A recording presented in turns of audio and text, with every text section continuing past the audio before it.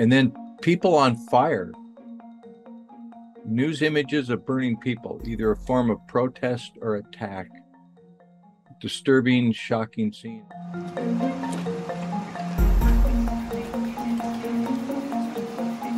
Uh, at about 12:17, the individual arrived on the scene uh, and posted up outside of the building.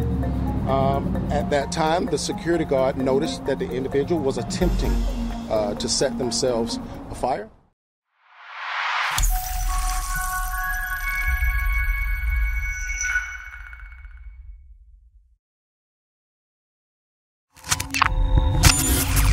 Yeah.